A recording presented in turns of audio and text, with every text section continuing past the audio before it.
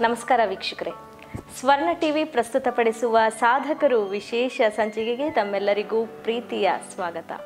ಪ್ರಿಯ ವೀಕ್ಷಕರೇ, ಇಂದಿನ ಸಂಚಿಕೆಯಲ್ಲಿ ನಮ್ಮ ಜೊತೆ ಇದ್ದಾರೆ ಕಾಳಿ ಜಲವಿದ್ಯುತ್ ಯೋಜನೆ ಗಣೇಶ್ ಗುಡಿಯಲ್ಲಿ ಮುಖ್ಯ ಅಭಿಯಂತರರಾಗಿ ಸುದೀರ್ಘ ಕಾಲ ಸೇವೆ ಸಲ್ಲಿಸಿ ಪ್ರಸ್ತುತ ಕರ್ನಾಟಕ ವಿದ್ಯುತ್ ನಿಗಮ ಬೆಂಗಳೂರು ಇಲ್ಲಿ ಮುಖ್ಯ ಅಭಿಯಂತರರಾಗಿ ಸೇವೆ ಸಲ್ಲಿಸ್ತಾ ಇರುವಂತಹ ಹೆಸರಾಂತ ಚಿಂತಕರು ವಾಗ್ಮಿಗಳು ಹಾಗೆ ಪ್ರಸಿದ್ಧ ಪ್ರವಚನಕಾರರು ಆದ ಶಂಕರ್ ದೇವನೂರವರು ನಮ್ಮ ಜೊತೆ ಇದ್ದಾರೆ.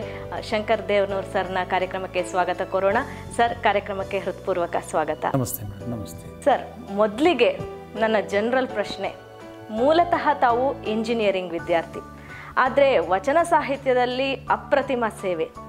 ಎತ್ತಣದಿಂದೆತ್ತ ಸಂಬಂಧವಯ್ಯ? ಹೇಳಿ ಸರ್. ನಾವು ಅಂದ್ಕೊಂಡಿದ್ದೇವೆ ವೃತ್ತಿ ಒಂದಾದರೆ ಅದರ ನೆಲಗಟ್ಟು ಎಲ್ಲರಿಗೂ ಒಂದೇ ಅದು ತತ್ವ. ತತ್ವದ ನೆಲೆಯಲ್ಲಿ, ಮೌಲ್ಯದ ನೆಲೆಯಲ್ಲಿ ನಮ್ಮ ಬದುಕು ಹರಳಬೇಕಾಗಿದೆ.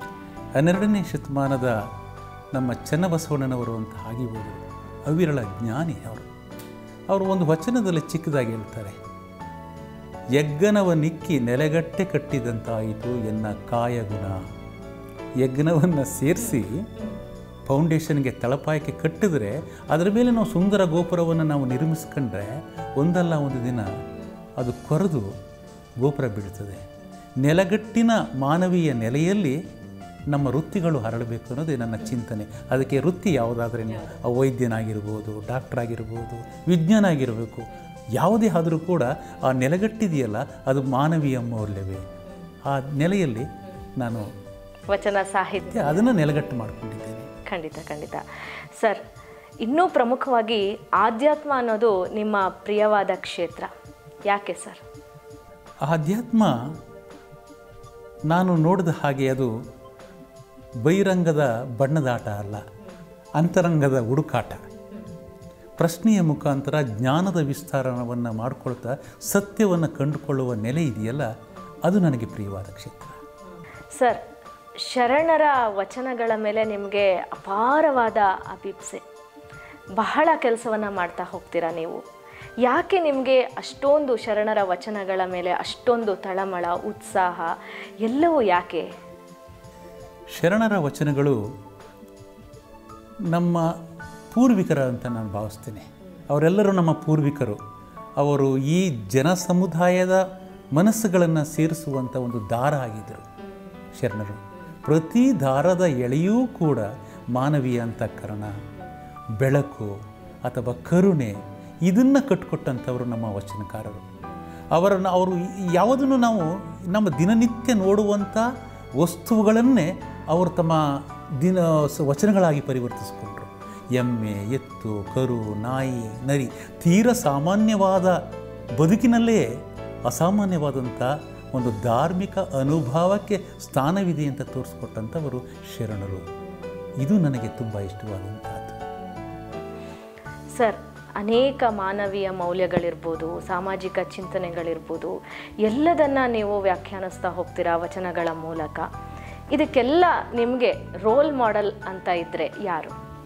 ಶರಣರ ಬದುಕೇ ನನಗೆ ರೋಲ್ ಮಾಡಲಾಗಿದೆ ಅವರು ಬದುಕಿದ ರೀತಿ, ಅವರು ಕೊಟ್ಕೊಟ್ಟ ಬದುಕಿದೆಯಲ್ಲ ಅದು ನನಗೆ ರೋಲ್ ನಾವು ಹನ್ನೆರಡನೇ ಶತಮಾನದಲ್ಲಿ ಸಾಮಾಜಿಕ ಚಳುವಳಿಯನ್ನು ಅದ್ಭುತವಾಗಿ ಜನಸಾಮಾನ್ಯರಿಗೆ ತಲುಪುವಂತಹ ಚಳುವಳಿಯನ್ನು ನಡೆಸಿದಂತಹ ಶರಣರ ಬದುಕನ್ನು ನಾವು ಓದ್ಕೊಂಡಿದ್ದೀವಿ ಆದರೆ ವಿದೇಶಿ ಚಿಂತಕರು ಸಾವಿರದ ಆರುನೂರ ನಂತರ ನಮ್ಮ ನಮ್ಮ ದೇಶದ ಮೇಲೆ ಬಂದವರು.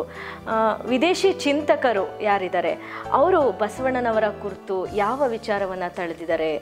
ಇಲ್ಲ, ನಿಜಕ್ಕೂ ಬಸವಣ್ಣನವರು ನನಗನ್ನಿಸೋದು ನಮ್ಮವ್ರಿಗಿಂತ ಹೆಚ್ಚಾಗಿ ಜಾಸ್ತಿ ಹೊರಗಿನವರೇ ಜಾಸ್ತಿ ಅರ್ಥ ಮಾಡಿಕೊಂಡಿದ್ದಾರೆ. ನಾವಿನ್ನೂ ಇನ್ನೂ ಅರ್ಥೈಸ್ಕೊಳ್ಳೋದಲ್ಲಿ ಸೋತಿದ್ದೇವೆ ಅಂತ. ಬಸವಣ್ಣನವರ ಚಿಂತನೆಯನ್ನು, ಬಸವಣ್ಣನವರ ಆ ವಚನಗಳನ್ನು ಅರ್ಥೈಸ್ಕೊಳ್ಳೋಲ್ಲಿ ನಾವು ಆರ್ಥರ್ ಮೈಲ್ಸ್ ಅಂತ ಹೇಳಿ ಒಬ್ಬ ಸಮಾಜ ಜ್ಞಾ- ವಿಜ್ಞಾನಿ. ಹತ್ತೊಂಬತ್ತು ನೂರ ಇಪ್ಪತ್ತೆಂಟರಲ್ಲಿ ದ ಲ್ಯಾಂಡ್ ಆಫ್ ಲಿಂಗಮ್ ಅನ್ನುವಂಥ ಒಂದು ಪುಸ್ತಕವನ್ನು ಬರೀತಾನೆ. ನನಗೆ ಭಾಳ ಸಂತೋಷ ಆಗ್ತದೆ ಆ ಪುಸ್ತಕದಲ್ಲಿ ಒಂದು ಮೌಲಿಕ ಮಾತನ್ನು ಹೇಳ್ತಾನೆ. Whatever legend may say Basavanna was the first free thinker of India ಅಂದರೆ ದಂತಕಥೆಗಳು ಏನೇ ಹೇಳಲಿ, ಬಸವಣ್ಣನವರೇ ಭಾರತದ ಮೊಟ್ಟ ಮೊದಲ ಸ್ವತಂತ್ರ ವಿಚಾರವಾದಿ. ಈ ಅಂದರೆ ಎಷ್ಟು ಅರ್ಥೈಸ್ಕೊಂಡಿರಬೇಕು? ಅಷ್ಟೇ ಅಲ್ಲ ನಾನು ಈ ದೂರದರ್ಶನದಲ್ಲಿ ಕೇಳಿ ಕುಳಿತಿದ್ದೇನೆ. ಹಾಗೆಯೇ ಬಿ ಬಿ ಸಿಯ ಒಬ್ಬ ಕಾನೂನು ಸಲಹೆಗಾರ ರಾಬರ್ಟ್ಸನ್ ಅಂಥೇಳಿ. ಅವನ ಶಿಷ್ಯ ಥಿಯೋಡರನವನು ಬಾ, ಬೆಂಗಳೂರಿಗೆ ಬರ್ತಾನೆ. ಬಸವಣ್ಣನವರ ನಾಲ್ಕು ವಚನಗಳನ್ನು ಓದಿ ಅದನ್ನು ಅನುವಾದಿಸಿಕೊಂಡು ತನ್ನ ಗುರು ಆದಂಥ ರಾಬರ್ಟ್ಸನ್ನ ಕಳಿಸ್ತಾನೆ.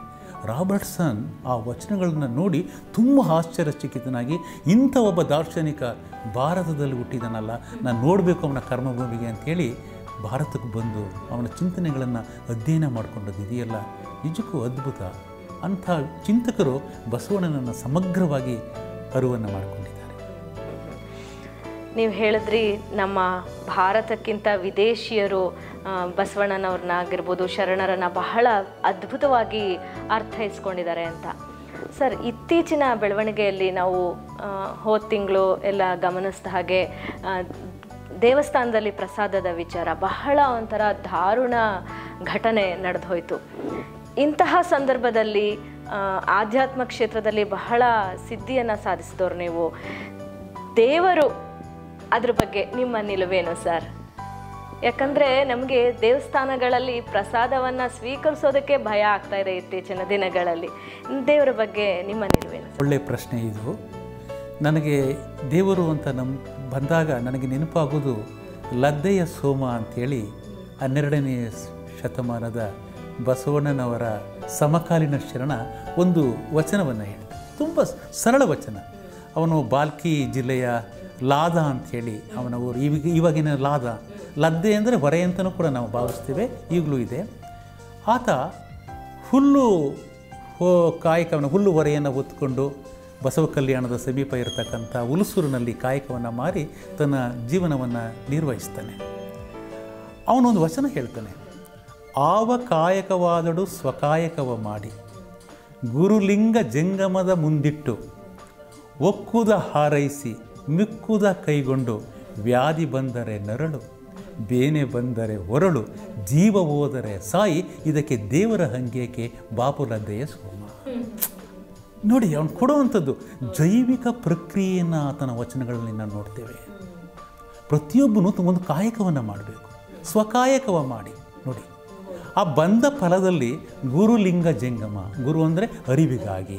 ಲಿಂಗ ಅಂತಂದರೆ ಅದು ಸಾಮರಸ್ಯದ ಸಂಕೇತ. ಜಂಗಮ ಸಮಾಜ. ಲಿಂಗ ಅಂತಂದರೆ, ಈ ಯಾವುದಕ್ಕೆ ಉತ್ಪತ್ತಿ ಮತ್ತು ನಾಶ ಇಲ್ಲವೋ ಯಾವುದಕ್ಕೆ ಕುಲಗೋತ್ರ ನಾಮಗಳಿಲ್ಲವೋ ಯಾವುದರಲ್ಲಿ ಈ ಜಗತ್ತಿನ ಉತ್ಪತ್ತಿ ಲಯವಾಗ್ತದೋ ಅಂಥ ನಿರಾಕಾರ ಸ್ವರೂಪದ ಸ ಲಿಂಗವನ್ನು ನಾವು ನೋಡ್ತೇನೆ. ಆ ನಿರಾಕಾರದ ಲಿಂಗದ ಜೊತೆಗೆ ಸಮಾಜವೆಂಬ ಜಂಗಮವನ್ನು ನಾನು ನೋಡ್ತೇನೆ. ಒಂದು ಜ್ಞ ಅರಿವಿಗೆ, ಒಂದು ಜ್ಞಾನಕ್ಕೆ, ಇನ್ನೊಂದು ಸಮಾಜಕ್ಕೆ ತನ್ನ ಬಂದ ಕಾಯಕದಲ್ಲಿ ಹರಪಿಸಿ ತಾನು ಬದುಕ್ತೇನೆ. ಮತ್ತೆ ಹೇಳ್ತಾನೆ, ವ್ಯಾಧಿ ಬಂದರೆ ನರಳು, ರೋಗ ಬಂದರೆ ನರಳು. ಬೇನೆ ಬಂದರೆ ಹೊರಳು ನೋ ಜಾಸ್ತಿ ಆಯಿತು ಕಿರ್ಚ್ಕೊ. ಕಿರ್ಚ್ಕೋ ಹೌದು. ಇದಕ್ಕೆ ದೇವರ ಹಂಗೇಕೆ ಇದರ ಅರ್ಥ ದೇವರು ಅಂತಕ್ಕಂಥವನು ನಮ್ಮ ನೋವುಗಳನ್ನು ನಮ್ಮ ಕಷ್ಟಗಳನ್ನು ನಮ್ಮ ಬೇನೆ ಬೇಸರಿಕೆಗಳನ್ನು ನಿವಾರಿಸುವಂತಹ ಮಾಪನ ಅಲ್ಲ. ಅದೇನಿದ್ರೂ ದೇವರು ನಮ್ಮ ಬದುಕನ್ನು ಅರ್ಥೈಸಿಕೊಳ್ಳಬಲ್ಲಂಥ ಒಂದು ಆತ್ಮಸಾಕ್ಷಿ ಅನ್ನೋದೇ ದೇವರು. ಶರಣರ ನಿಲುವೇ ನಿಮ್ಮ ನಿಲುವು ಕೂಡ ಹೌದು ಅಂತ ಒಪ್ಕೋಬೋದಾ ನಾವು? ಖಂಡಿತ ಖಂಡಿತ. ನಮ್ಮ ಆತ್ಮಸಾಕ್ಷಿಯೇ ನಮ್ಮ ಪ್ರಜ್ಞೆಯೇ ದೇವರು. ನಮ್ಮ ಅನನ್ಯ, ನಮ್ಮ ಒಬ್ಬ ಶರಣರು ಹೇಳ್ತಾರೆ, ಸರ್ಪಭೂಷಣ ಶಿವಯೋಗಿಗಳು ದೇವರು ಅಂದಕ್ಕೆ ನಾನು ಈ ವಚನವನ್ನು ಕೊಡ್ತೇನೆ. ಮನದೊಳಗ ಶಿವ ತಾನು ಮನೆ ಮನ ಮೆಚ್ಚಿ ನಡೆದರೆ ಶಿವ ಮೆಚ್ಚುವನು. ಮನ ಕಂಜಿ ನಡೆಯದೆ ಈ ಲೋಕದ ಜನಕಂಜಿ ನಡೆದರೆ ಮನದೊಳಗನ ಗುರುಸಿದ್ದ ಮರೆಯಾದನಲ್ಲ. ಇದೇ ದೇವರ ಕಲ್ಪನೆ. ಸರ್ ಒಬ್ಬ ಮನುಷ್ಯ ಪರಿಪೂರ್ಣನಾಗಬೇಕು ಅಂತಂದರೆ ಅವನ ವ್ಯಕ್ತಿತ್ವ ಮೇಲ್ಮಟ್ಟದಲ್ಲಿ ಇರಬೇಕು ಅವನ ವ್ಯಕ್ತಿತ್ವ ವಿಕಾಸ ಹೊಂದಬೇಕು. ಈ ವ್ಯಕ್ತಿತ್ವ ವಿಕಸನಕ್ಕೆ ವಚನಗಳೆಲ್ಲವೂ ಸಾಧ್ರವಾಗತ್ತೆ ಅನ್ನೋದು ಒಂದು ಅಭಿಪ್ರಾಯ. ಈ ಹಿನ್ನೆಲೆಯಲ್ಲಿ ಯಾವುದಾದ್ರೂ ಒಂದು ವಚನವನ್ನು ಉಲ್ಲೇಖಿಸೋದಾದರೆ ಯಾವ ವಚನನ ಉಲ್ಲೇಖಿಸ್ತೀರಾ? ಶರಣರ ಪ್ರತಿಯೊಂದು ವಚನಗಳೂ ಕೂಡ ವ್ಯಕ್ತಿತ್ವ ವಿಕಾಸದ ಒಂದು ದೊಡ್ಡ ಮೌಲ್ಯ ಅಂತ ನಾನು ತಿಳ್ಕೊಂಡಿದ್ದೇನೆ. ಒಂದು ವಚನ ತಾವೆಲ್ಲ ಕೇಳಿರಬಹುದು ಬಸವಣ್ಣನವರ ಕಾರ್ಯದರ್ಶಿ ಹಡಪದ ಅಪ್ಪಣ್ಣನವರು ಅಂತ. ವೃತ್ತಿಯಲ್ಲಿ ಸಾಮಾನ್ಯ ಕಾಯಕ. ಅವರು ಒಂದು ವಚನ, ನೋಡಿ ಬಸವಣ್ಣನ ಸಂಪರ್ಕ ಎಂತೆಂಥವರನ್ನು ತಾತ್ವಿಕವಾಗಿ ಎಷ್ಟು ಎತ್ತರಿಸ್ತು ಅನ್ನೋದಕ್ಕೆ ಅವರು ಒಂದು ವಚನ ಹೇಳ್ತಾರೆ, ಹಡಪದ ಅಪ್ಪಣ್ಣನವರು. ನೀವು ಹೊತ್ತಿಪ್ಪ ವೇಷದಲ್ಲಿ ತತ್ವವ ತಿಳಿದು ನೋಡಿರಣ್ಣ. ನಾವು ವೇಷನೇ, ನಾನು ಇಂಜಿನಿಯರ್ ಆಗಿರ್ಬೋದು, ನೀವು ಟಿ ವಿಯ ನಿರೂಪಕರಾಗಿರ್ಬೋದು, ಸ್ವಾಮಿಗಳಾಗಿರ್ಬೋದು, ಇವೆಲ್ಲ ವೇಷಗಳು. ವೇಷಗಳು ನಿಜ. ಇವು ಕಳಿಸೋಗ್ತವೆ ಆದರೆ ವೇಷವೇ ತತ್ವ ಅಲ್ಲ. ಆ ತತ್ವವನ್ನು ನೀವು ಯಾಕೆ ತಿಳ್ಕೋಬಾರ್ದು? ಅನ್ನುವಂಥ ಅಡಪದ ಅಪ್ಪಣ್ಣನವರ ಪುಣ್ಯ ಸ್ತ್ರೀ ಲಿಂಗಮ್ಮನವರು ಒಂದು ವಚನದಲ್ಲಿ ಹೇಳ್ತಾರೆ. ತುಂಬ ವ್ಯಕ್ತಿತ್ವ ವಿಕಾಸಕ್ಕೆ ತುಂಬ ಪೂರಕವಾದಂಥ ವಚನ. ಇವತ್ತಿನ ದಿನಮಾನದಲ್ಲಿ ಇದು ಎಷ್ಟು ಅಗತ್ಯ ಅಂದರೆ ನಾನು ಈ ಜಾತಿಯಲ್ಲಿ ಹುಟ್ಟಿದೆ, ಕೀಳು ಜಾತಿಯಲ್ಲಿ ಹುಟ್ಟಿದೆ, ನಾವು ಮೇಲು ಜಾತಿ, ಕೀಳು ಜಾತಿಯ ತಾರತಮ್ಯದ, ಜಾತಿಯ ತಾರತಮ್ಯದಲ್ಲಿ ಅಥವಾ ಅತ್ಯಂತ ಕನಿಷ್ಠದ ಜಾತಿಯಲ್ಲಿ ಹುಟ್ಟಿ ನಾನು ನರಳುತ್ತಾ ಇದ್ದೀನಿ ಅಂತ ಜನಾಂಗಕ್ಕಂತೂ ಈ ವಚನ ಏಳು ಮಾಡಿಸಿದ ಒಂದು ಮದ್ದು ಅಂತ ನಾನು ಪರಿಭಾವಿಸ್ತೇನೆ. ಆ ವಚನ ಹೀಗಿದೆ. ಕನಿಷ್ಠದಲ್ಲಿ ಹುಟ್ಟಿದೆ, ಉತ್ತಮದಲ್ಲಿ ಬೆಳೆದೆ ಸತ್ಯ ಶರಣರ ಪಾದವನ್ನಿಡಿದೆ ಸತ್ಯ ಶರಣರ ಪಾದವನ್ನಿಡಿದು ಗುರುವ ಕಂಡೆ, ಲಿಂಗವ ಕಂಡೆ, ಜಂಗಮವ ಕಂಡೆ, ಪಾದೋದಕ ಪ್ರಸಾದವ ಕಂಡೆ. ಇಂತಿ ಕಂಡೆನ್ನ ಕಂಗಳ ಮುಂದನ ಕತ್ತಲೆ ಹರಿದು ಆ ಮಂಗಳದ ಬೆಳಗಿನಲ್ಲಿ ಓಲಾಡಿ ಸುಖಿಯಾಗಿರ್ದೇನಯ್ಯ ಅಪ್ಪಣ್ಣ ಪ್ರಿಯ ಚೆನ್ನಬಸವಣ್ಣ. ಆಕೆ ಹೇಳ್ತಾಳೆ ನಾನು ಕನಿಷ್ಠದಲ್ಲಿ ಹುಟ್ಟಿರ್ಬೋದು. ನನ್ನ ಬೆಳವಣಿಗೆ ಇದೆಯಲ್ಲ? ನಾನು ಶರಣರ ಜ್ಞಾನದಲ್ಲಿ ಬೆಳೆದೆ. ಪಾದ ಅಂದರೆ ಜ್ಞಾನ, ಶರಣರ ಪಾದವನ್ನಿಡಿದೆ ಅಂದರೆ ಶರಣರ ಜ್ಞಾನಕ್ಕೆ ನಾನು ದಾಸನಾದೆ. ಗುರುವ ಕಂಡೆ, ಅರಿವನ್ನು ಪಡ್ಕಂಡೆ. ಲಿಂಗವ ಕಂಡೆ, ನಾ ಹೇಳಿದ್ನಲ್ಲ, ಸಾಮರಸ್ಯ. ಜಗತ್ತು ನಿರಾಕಾರ, ನಿರ್ವಿಕಾರದ ಲಿಂಗದ ಅರಿವಾಯಿತು ನನಗೆ. ಸಮಾಜವನ್ನು ಕಂಡೆ. ನಿರಾಕಾರ ಲಿಂಗ ಸ್ವರೂಪದ ಈ ಸಮಾಜವನ್ನು ನಾನು ಕಂಡೆ. ಹೀಗೆ ಕಂಡು ಕಂಗಳ ನನಗೆ ಕಣ್ಣ ಪೊರೆ ಹರಿದೋಯಿತು. ಕಂಗಳ ಮುಂದನ್ನು ಕತ್ತಲೆ ಹರಿದು ಆ ಮಹಾ ಬೆಳಗಿನಲ್ಲಿ ಓಲಾಡುತ್ತಿದ್ದೆನಯ್ಯ? ಅಪ್ಪಣ್ಣ ಪ್ರಿಯ ಚೆನ್ನಬಸವಣ್ಣ. ಎಂಥ ಅದ್ಭುತ. ನಾನು ಬೆಳಗನ್ನು, ನಾನು ಬೆಳಗಾದೆ ಅಂತ ಹೇಳ್ತಾಳೆ. ಅದಕ್ಕೆ ನನಗೆ ನೆನಪಾಗೋದು ಅಲ್ಲಮನ ಒಂದು ವಚನ ಇದೆ. ತುಂಬ ಚೆನ್ನಾಗಿದೆ. ಕಾಣುವ ಕಣ್ಗಳಲ್ಲಿ ಕತ್ತಲೆ, ಕೇಳುವ ಕಿವಿಗಳಲ್ಲಿ ಕತ್ತಲೆ, ಮಾಡುವ ಕೈಗಳಲ್ಲಿ ಕತ್ತಲೆ ಕತ್ತಲೆ ಕತ್ತಲೆ, ಹಿತ್ತಲೆ, ಗುಹೇಶ್ವರನೆಂಬುವನು ಅತ್ತಲೆ. ಯಾವುದನ್ನು ನಾನು ನೋಡಬೇಕೋ ಅದನ್ನು ನೋಡ್ದೇನೆ. ನೋಡಬಾರದನ್ನು ನೋಡ್ತಾ ಇದ್ದೀನಿ, ಇದು ಕತ್ತಲೆ. ಯಾವುದನ್ನು ಕೇಳಬೇಕೋ ಇದನ್ನು ಕೇಳ್ದೇನೆ, ಕೇಳಬಾರದನ್ನೆಲ್ಲ ಕೇಳ್ತಾ ಇದ್ದೀನಿ, ಬೆಳಕು ಅಂತ, ಇದು ಕತ್ತಲೆ. ಯಾವುದನ್ನು ನಾನು ಮಾಡಬೇಕು ಅದನ್ನು ಮಾಡದೆ, ಮಾಡಬಾರ್ದನ್ನು ಮಾಡ್ತಾ ಇದ್ದೀನಿ, ಇದು ಕತ್ತಲೆ. ಹೀಗಿದ್ದಾಗ ಕತ್ತಲೆ ಕತ್ತಲೆ, ಹಿತ್ತಲೆ, ಗುಹೇಶ್ವರನೆಂಬುವನು ಅತ್ತಲೆ. ಖಂಡಿತ ಖಂಡಿತ ಇವತ್ತು ಎಷ್ಟು ಪ್ರಸ್ತುತ ನೋಡಿ? ವಚನ ಸಾಹಿತ್ಯ ಹನ್ನೆರಡನೇ ಶತಮಾನದಲ್ಲಿ ಅದು ಸೃಷ್ಟಿಯಾದರೂ ಕೂಡ ಅಂದಿನ ಕಾಲಕ್ಕೂ ವಚನಗಳು ಇದ್ವು ಅದನ್ನು ಓದ್ಕೊಂಡು ಬಂದಿದ್ದೀವಿ ನಾವು. ಆದರೆ ಪ್ರಸ್ತುತ ದಿನಗಳಲ್ಲೂ ಅಂದರೆ ಅದು ವಚನಗಳೆಲ್ಲವೂ ಸಾರ್ವತ್ರಿಕ ಸತ್ಯ ಅಂತ ನಾವು ಹೇಳ್ಬೋದು. ಇಂದಿಗೂ ಕೂಡ ಅದು ಪ್ರಸ್ತುತವಾಗೇ ಉಳಿಯುತ್ತವೆ ಅನ್ನೋದಕ್ಕೆ ನೀವು ವಚನಗಳನ್ನು ಉದಾಹರಿಸ್ತಾ ಇದ್ದೀರಾ? ಇಂದಿಗೂ ಕೂಡ ವಚನಗಳು ಪ್ರಸ್ತುತ ಅನ್ನೋದಕ್ಕೆ ಯಾವುದಾದ್ರೂ ವಚನವನ್ನು ನೀವು ವ್ಯಾಖ್ಯಾನ ಮಾಡಬಹುದಾ ಖಂಡಿತ. ವಚನಗಳೆಲ್ಲವೂ ಕೂಡ ಅವು ಬದುಕು. ಸಮಷ್ಟಿ ಬದುಕಿನ ಜೀವನವನ್ನು, ಸಮಷ್ಟಿ ಬದುಕಿನ ವಿವೇಚನೆಯನ್ನು ವಚನಗಳೆಲ್ಲವೂ ಕೂಡ ಒಳಗೊಂಡಿವೆ. ಅದು ದೊಡ್ಡ ಬೆಳಕು. ಆ ಬೆಳಕು ಹೇಗಿದೆ ಅಂತಂದರೆ ಎಲ್ಲವನ್ನು ಒಳಗೊಂಡಿರುವಂಥದ್ದು. ಇದನ್ನು ನಾನೇನು ಹೇಳ್ತೀನಿ ಅಂತಂದರೆ ಎಲ್ಲವನ್ನು ಒಳಗೊಂಡಾಗ ಮಾತ್ರ ಬೆಳಕಾಗಕ್ಕೆ ಸಾಧ್ಯ. ನಾನು ಇತ್ತೀಚಿನ ನಮ್ಮ ಆತ್ಮೀಯ ಸ್ನೇಹಿತರು ಆತ್ಮಾನುಭಾವಿ ಕವಿಗಳಾದಂಥ ಜರಗ್ನಳ್ಳಿ ಶಿಕ್ಷಕರಂತ ಅಂತ ತಾವು ಕೇಳಿರ್ಬೋದು. ಅವರದೊಂದು ಸಣ್ಣ ಕವಿತೆಯ ಸಾಲು ಒಂದು ಸೂಕ್ತ ತಗೊಳ್ಳೋಣ ಆಮೇಲೆ ವ್ಯಾಖ್ಯಾನಿಸ್ತೀನಿ. ಆಯಿತು ಆಯಿತು ಸರ್. ಅವರು ಒಂದು ವಚನದಲ್ಲಿ ಹೇಳ್ತಾರೆ. ಕುಂಬಾರರು ಮಾಡಿದ ಪ್ರಣತೆಗೆ ಗಾಣಿಗರ ಮನೆಯ ತೈಲವ ತುಂಬಿ ಒಕ್ಕಲಿಗರು ಬೆಳೆದ ಹತ್ತಿಯ ಒಸೆದು ಬತ್ತಿಯ ಮಾಡಿ ದೀಪವ ಹಚ್ಚಿದೊಡೆ ಹಲವು ಜಾತಿಗಳು ಕೂಡಿ ಮಹಾ ಬೆಳಕಾಯಿತು ನೋಡ ಅದ್ಭುತ. ಯೋಚನೆ ಮಾಡಿ. ಇವತ್ತಿನ ದಿನಕ್ಕೆ ಇವತ್ತು ನನ್ನದೇ ಶ್ರೇಷ್ಠ ನೀವು ಕನಿಷ್ಠ. ಜಾತಿಯ ತಾರತಮ್ಯಗಳಲ್ಲಿ ನಾವು ದ್ವೀಪಗಳನ್ನು ಸೃಷ್ಟಿಸಿಕೊಂಡಿದ್ದೇವೆ. ಈ ಜಾತಿ ನಮಗೆ ಬೇಕಾಗಿರೋದು ದ್ವೀಪಗಳಲ್ಲ ಮಾನವೀಯ ಸೇತುಗಳು. ಹೌದಲ್ಲ? ನೋಡಿ ಅವ್ರು ಹೇಳ್ತಾರೆ ಒಂದು ಭೌತಿಕ ವಸ್ತುವಿನ ಚಿತ್ರಣವನ್ನು ಕೊಡ್ತಾ ಕೊಡ್ತಾ ಜಾತಿ ವಿನಾಶವನ್ನು ಈ ಕವಿತೆ ಹೇಳ್ತದೆ. ಒಂದು ಪ್ರಣತೆಯನ್ನು ಕಲ್ಪಿಸ್ಕೊಳ್ಳಿ. ನಮ್ಮ ಮನಸ್ಸು ಯಾವ ಕಡೆ ಧಾವಿಸ್ತದೆ? ಬೆಳಕಿನ ಕಡೆ ಧಾವಿಸ್ತದೆ. ಆದರೆ ಬೆಳಕೆಲ್ಲಿಂದ ಬಂತು. ಸ್ವಯಂಭುವೆ ಖಂಡಿತ ಅಲ್ಲ. ಆ ಬೆಳಕಿನ ನಿರ್ಮಾಣದ ಹಿಂದೆ ಹಲವು ವರ್ಗದ ಜನರ ತ್ಯಾಗ ಇದೆ. ಶ್ರಮ ಇದೆ. ನೀವು ಆ ಕವಿತೆಯ ಪ್ರತಿಯೊಂದು ಪಂಕ್ತಿಯನ್ನು ನಾವು ಭೇದಿಸ್ತಾ ಬಂದಾಗ ಇದರ ಅರ್ಥ ಆಗ್ತದೆ. ಒಂದು ಪ್ರಣತಿ ಆಗ ದೀಪ ಆಗಬೇಕು ಅಂದರೆ ಪ್ರಣತೆ ಬೇಕು. ಅದನ್ನು ತಯಾರಿಸಿದವರು ಕುಂಬಾರರು. ಅದಕ್ಕೆ ತೈಲ ಬೇಕು. ಅದನ್ನು ತಯಾರಿಸಿದವರು ಗಾಣಿಗರರು ಅದು ಉರಿಬೇಕು ಪ್ರಜ್ವಲವಾಗಿ ಅಂದರೆ ಬತ್ತಿ ಬೇಕು. ಅದನ್ನು ತಯಾರಿಸಿದವರು ರೈತರು, ಒಕ್ಕಲಿಗರು. ಅಂದರೆ ವಿವಿಧ ವರ್ಗದ ಜನರು ತಯಾರಿಸಿದ ವಸ್ತುಗಳು ತಮ್ಮ ಮೂಲವನ್ನು ಬದಲಾಯಿಸಿಕೊಂಡು ಜ್ಯೋತಿಯಾಗೋದಿದೆಯಲ್ಲ, ಇದು ಜೀವನ. ಜ್ಯೋತಿಯ ಉದ್ದೇಶ ಬೆಳಕನ್ನು. ಅಂದರೆ ಜಾತಿ ಮನಸ್ಸುಗಳು ಜ್ಯೋತಿಯಾಗುವುದೇ ಈ ಮನ್, ಈ ಜೀವನದ ಸಾರ್ಥಕತೆಯಲ್ಲ. ಇದಕ್ಕೆ ಪ್ರಸ್ತುತವಾಗ್ತದೆ. ನೀವು ಹೇಳಿದಾಗೆ ಇನ್ನೊಂದು ವಚನವನ್ನು ತೆಗೆದುಕೊಳ್ತೇನೆ. ಅದು ಬೋಳಿಗೆ ಮಾರಯ್ಯನವರ ವಚನ. ಅವರು ಕನ್ನಡದವರಲ್ಲ, ಕರ್ನಾಟಕದವರಂತೂ ಅಲ್ಲವೇ ಅಲ್ಲ. ಅವರು ಕಾಶ್ಮೀರದ ಅರಸ, ಸವಾಲಾಕ್ಷದ ದೊರೆ ಮಹಾದೇವ ಗೋಪಾಲ, ಪತ್ನಿ ಮಹಾದೇವಿ, ರಾಜ. ಬಸವಣ್ಣನವರ ಆ ಕಾಯಕ, ಬಸವಣ್ಣನವರ ಅಸಂಗ್ರಹ ತತ್ವ, ಬಸವಣ್ಣನವರ ಸಿದ್ಧಾಂತಗಳಿಗೆ ಆತ ಮಾರು ಹೋಗಿ ಇವತ್ತಿನ ದಿನದಲ್ಲಿ ನಮಗೆ ಮಾಧ್ಯಮ ಇದೆ. ಮಾಧ್ಯಮ ಇಲ್ಲದ ಕಾಲದಲ್ಲಿ ಬಸವಣ್ಣನ ಚಿಂತನೆ ಕಾಶ್ಮೀರ ಅಫ್ಘಾನಿಸ್ತಾನ ಎಲ್ಲವನ್ನು ಮುಟ್ಟಿತ್ತು. ಎಂತೆಂಥ ಶರಣರು ಬೇರೆ ಎಲ್ಲ ಬಂದರು. ಮಾಳವ ದೇಶದಿಂದ ಡೋಹರ ಕಕ್ಕಯ್ಯ ಬರ್ತಾರೆ. ಕಾಶ್ಮೀರದಿಂದ ಬಂತದೇವಿ ಬರ್ತಾಳೆ. ಯೋಚನೆ ಮಾಡಿ. ಅಫ್ಘಾ ಇದರಿಂದ ಅಫ್ಘಾನಿಸ್ತಾನದಿಂದ ಮರುಳಶಂಕರ ದೇವ ಬರ್ತಾನೆ. ಹೀಗೆ ಅವನು ರಾಜನಾಗಿ ತನ್ನ ಅರಮನೆ ವೈಭವ ಎಲ್ಲವನ್ನು ಅಧಿಕಾರ ತ್ಯಾಗ ಮಾಡಿ ಬಸವಣ್ಣನವರ ಮಹಾಮನೆಗೆ ಬರ್ತಾನೆ. ಬಸವ ಕಲ್ಯಾಣಕ್ಕೆ ಬರ್ತಾನೆ. ಕಲ್ಯಾಣಕ್ಕೆ ರಾಜ ಮತ್ತು ರಾಣಿ ಬಂದು ಅಂಥೇಳಿ ಅವ್ರನ್ನ ಆನೆ ಮೇಲೆ ಕೂರಿಸ್ಕೊಂಡು ಉತ್ಸವ ಮಾಡುವ ಪದ್ಧತಿ ಕಲ್ಯಾಣದಲ್ಲಿ ಇರಲಿಲ್ಲ. ರಾಜನಾಗಲಿ ಸೇವಕ ಆಗಲಿ ಮಂತ್ರಿಯಾಗಲಿ ಸಾಮಾನ್ಯ ಆಗಲಿ ಅನುಭವ ಮಂಟಪಕ್ಕೆ ಪ್ರವೇಶ ಮಾಡಬೇಕು ಅಂದರೆ ಕಾಯಕ ಕಡ್ಡಾಯ. ಕಾಯಕವೇ ಶರಣರ ನಾಯಕ.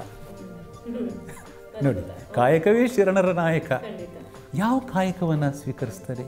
ನಿಮ್ಮ ಮಂಡ್ಯಕ್ಕೆ ಮೈಸೂರಿನ ಮಹಾರಾಜ ಬಂದರೆ ಯಾವ ಕಾಯಕವನ್ನು ಕೊಡ್ತೀರಿ? ನೋಡಿ ಬಸವಣ್ಣ.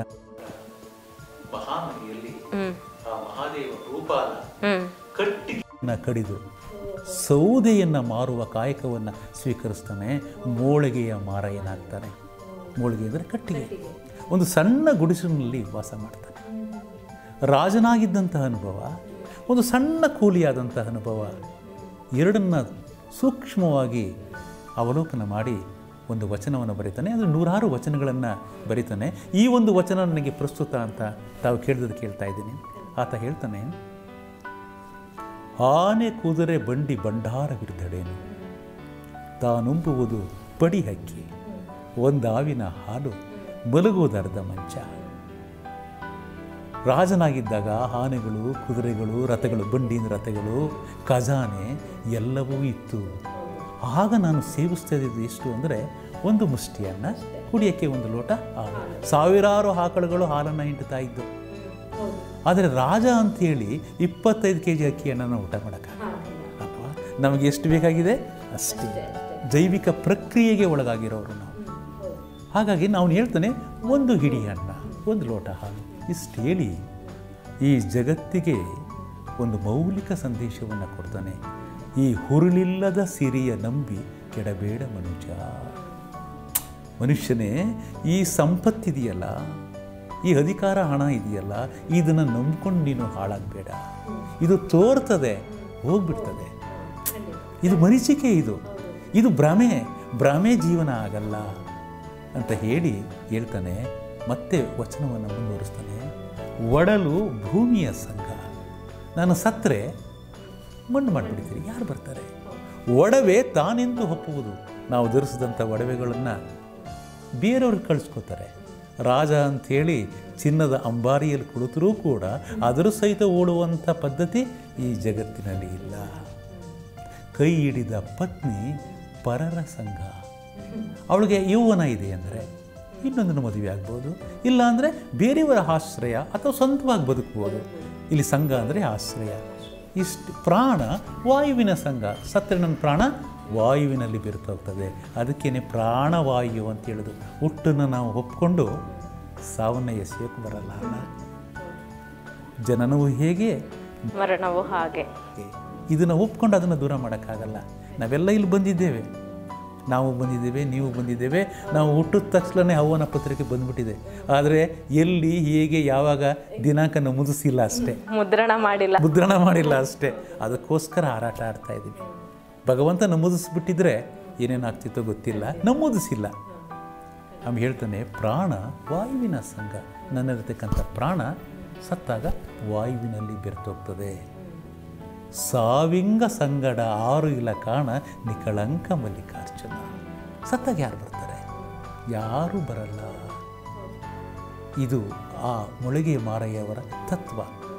ಹೇಗೆ ಅಂದರೆ ನೀವು, ನಾವೇನು ಸಂಗ್ರಹಿಸ್ಕೊಂಡಿದ್ದೀವಿ? ಇವೆಲ್ಲ ಲಗೇಜ್ಗಳು.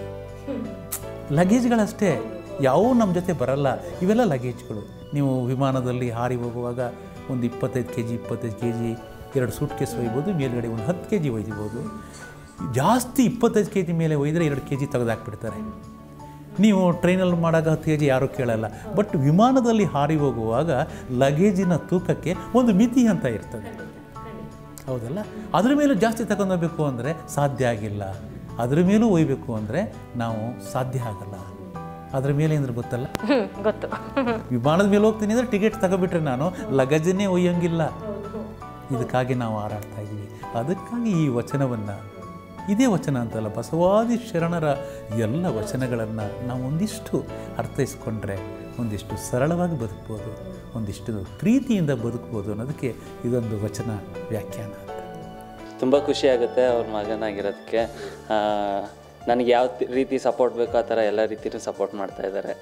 ಮುಂಚೆಯಿಂದನೂ ಅವರು ನನ್ನ ನನಗೆ ಗೊತ್ತಿರೋಂಗೆ ನನಗೆ ಜ್ಞಾನ ಬಂದಾಗಿದ್ದನೂ ಅವರು ಮುಂಚೆಯಿಂದನೂ ಓದ್ತಾನೆ ಇದ್ದರು ಅಧಿಕಾರಕ್ಕಿಂತ ಈ ಆಧ್ಯಾತ್ಮ ಕಡೆಗೆ ಅವ್ರದ್ದು ಒಲವು ಜಾಸ್ತಿನೇ ಇತ್ತು. ಆ ಪೇಷನ್ಸ್ ತುಂಬಾ ಕಲ್ತಿದ್ದೀನಿ. ತುಂಬಾ ಭಾವ ಭಾವಕರಾಗ್ತಾರೆ ಅಂದರೆ ಹಳೇದನ್ನೆಲ್ಲ ನೆನೆಸ್ಕೊಂಡು ಪ್ರಸ್ತುತ ಆ, ಜಗತ್ತಿನ ಯಾವ ರೀತಿ ಇದೆ ಆಗ್ತಿದೆ ಅನ್ನೋದನ್ನೆಲ್ಲ ನೆನೆಸ್ಕೊಂಡು ಸ್ವಲ್ಪ ಭಾವಕರಾಗ್ತಾರೆ. ಮನೇಲಿ ಸೈಲೆಂಟಾಗೇ ಇರ್ತಾರೆ ಆಮೇಲೆ ಏನು ಕೋಪ ಗೀಪ ಏನು ಮಾಡ್ಕೊಳ್ಳಲ್ಲ ಅವರು ಹೆಂಗೆ ಏನು ಮಾತಾಡ್ತಾರೋ ಅದೇ ರೀತಿ ಇದ್ದಾರೆ.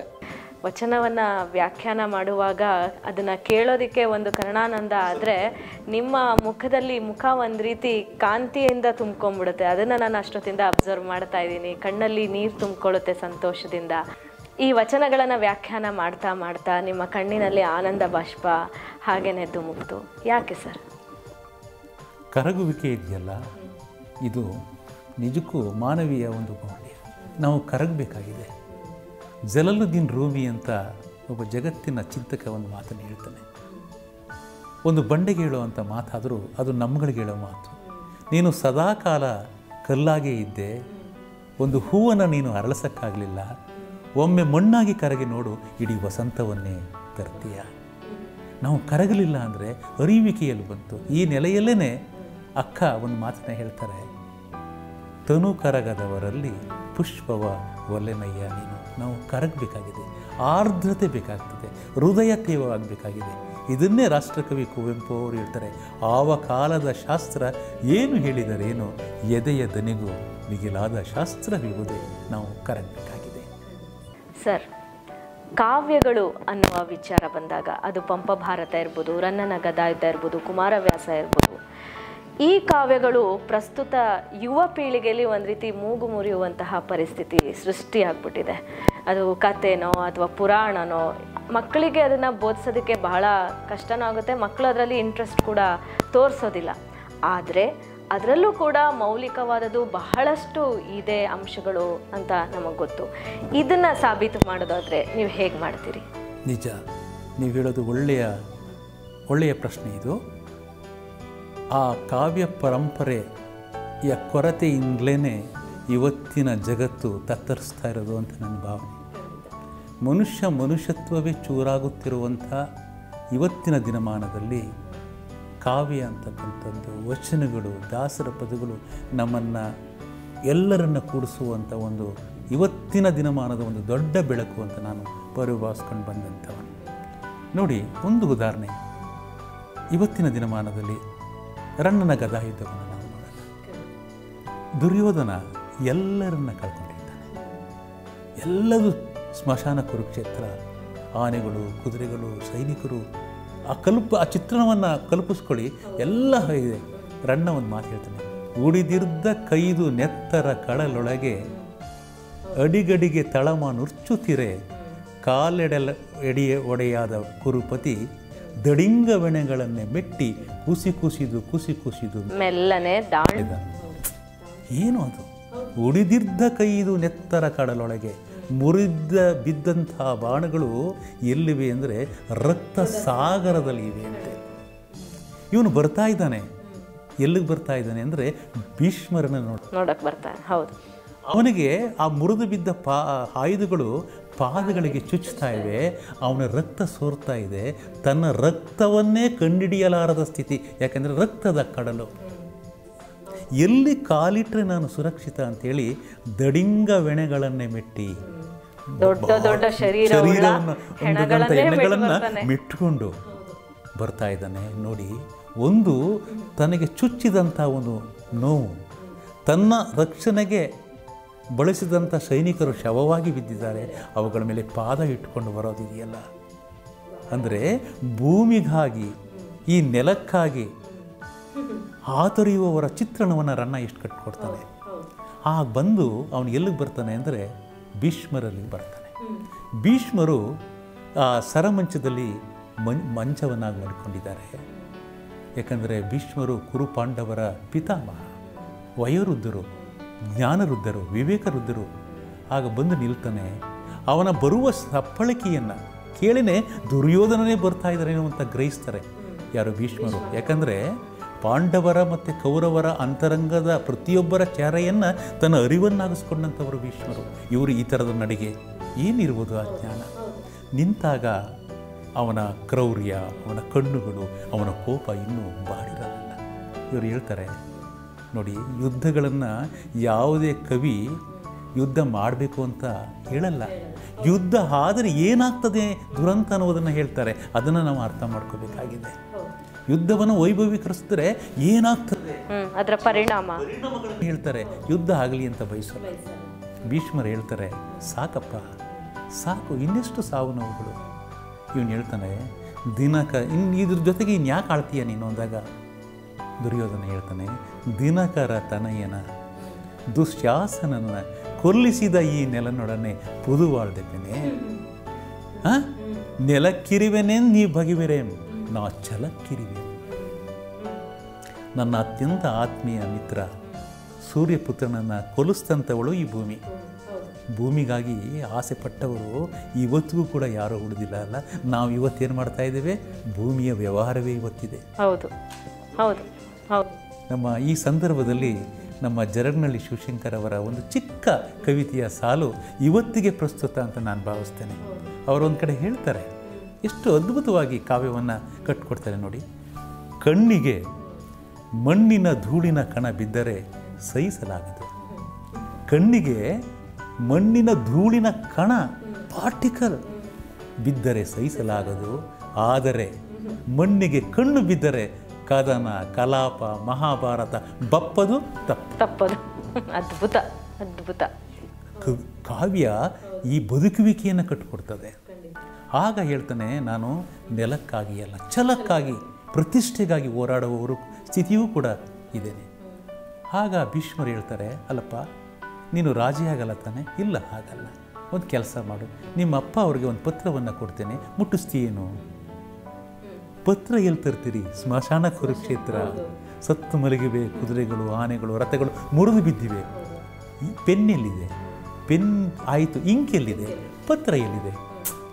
ರಣ್ಣ ಎಷ್ಟು ಅದ್ಭುತವಾಗ್ತಕ್ಕಂಥ ಅಂದರೆ ನಿಜೋಧರದಿಂ ಶರವೊಂದಂ ತೆಗೆದು ಲೆಕ್ಕನಿಯ ಮಾಡಿ ಗಜ ಮದ ಮಸಿಯಂ ತರಿಸಿ ಪತಾಕ ಪಟದೊಳ್ ಬರದಟ್ಟಿದನ್ ಅಂದ ನೃಪತಿಗ ಸಿಂಧೂತನಯಂ ತನಗೆ ನಾಟಿದಂಥ ಒಂದು ಬಾಣವನ್ನು ತಗೋತಾನೆ, ಅದನ್ನು ಲೇಖನಿಯಾಗಿ ಮಾಡ್ಕೋತಾನೆ. ಇಂಕ್ ಬೇಕಲ್ಲ, ಆನೆಗಳು ಹೋರಾಡುವಾಗ ಒಂದು ರಸವನ್ನು ಸ್ರವಿಸ್ತವೆ ಗಜಮದ ರಸ. ಗಜಮದ ಮಸಿಯನ್ನು ತಗೋತಾನೆ, ಅದನ್ನು ಇಂಕ್ ಮಾಡ್ಕೋತಾನೆ. ಪೇಪರ್ ಬೇಕಲ್ಲ? ಎಲ್ಲಿದೆ? ಪಠ. ಮುರಿದು ಬಿದ್ದವೆ ರಥಗಳು, ಉಗ್ರ ಪತಾಕಿ ಇವೆಲ್ಲ ಸಂಕೇತಗಳು. ನಾನು ಇಂಥವನು, ನಾನು ಬೀಗ್ತಾ ಇದ್ದೀವಲ್ಲ ನಾವು. ಅವನು ಹರ್ಕೋತಾನೆ ಯಾವ ಶ ಇಲ್ಲೇನು ಕಲಿಯೋದು ಅಂದರೆ, ಹಿಂಸೆಗೆ ಬಳಸುವ ಬಾಣವನ್ನು ಬೆನ್ನಾಗಿಸಿ ಮದವನ್ನು, ಅಹಂಕಾರವನ್ನು ಬಸಿಯಾಗಿಸಿ ಪ್ರತಿಷ್ಠೆಯನ್ನು ಆಳಿಯಾಗಿ ರೂಪಾಂತರಗೊಳಿಸ್ಕೊಂಡು ಬದುಕೋದಿದೆಯಲ್ಲ? ಇದು ಜೀವನ ಅನ್ನೋದೇ ಆ ಕಾವ್ಯಗಳ ಅಂತರಾಳ ಅಂತ ನಾನು ಭಾವಿಸ್ತೀನಿ. ಖಂಡಿತ ಸರ್. ಕಾವ್ಯಕ್ಕೆ ಎಷ್ಟು ಸತ್ವ ಇದೆ, ಜೊತೆಗೆ ತತ್ವನೂ ಕೂಡ ಇದೆ.